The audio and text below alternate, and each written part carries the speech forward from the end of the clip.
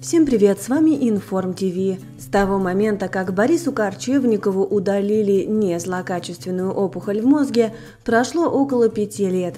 После этого у него стал медленно ухудшаться слух. Поклонники телеведущего утверждают, что проблемы начались из-за операции, но Борис категорически это отрицает. Недавно в своей передаче «Судьба человека» ведущий рассказал, что в младенчестве он переболел менингитом. Это довольно тяжелый недуг. После того, как человек с ним справляется, последствия идут по пятам за ним всю жизнь. Наш герой-телеведущий не исключение.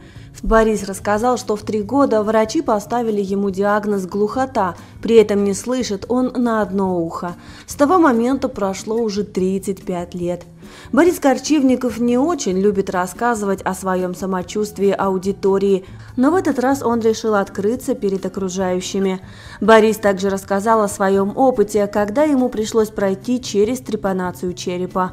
После такой процедуры люди не сразу начинают ходить, и, конечно же, долгий период реабилитации для Корчевникова был очень тяжелым. Борис рассказал, что после этого он начал мыслить и вообще видеть мир иначе. В уже другом выпуске программы в гостях был немалоизвестный Игорь Крутой. Музыкант упомянул один случай, который нельзя рассказать без брани. На телевидении такое, конечно же, сообщать нельзя из-за цензуры, но Корчевников сказал, чтобы Крутой без стеснения выражался, ведь цитата «а я плохо слышу все равно». Сейчас поклонники телеведущего очень сильно волнуются за своего кумира – но мы все-таки рассчитываем на то, что с Борисом все будет хорошо и его состояние не ухудшится.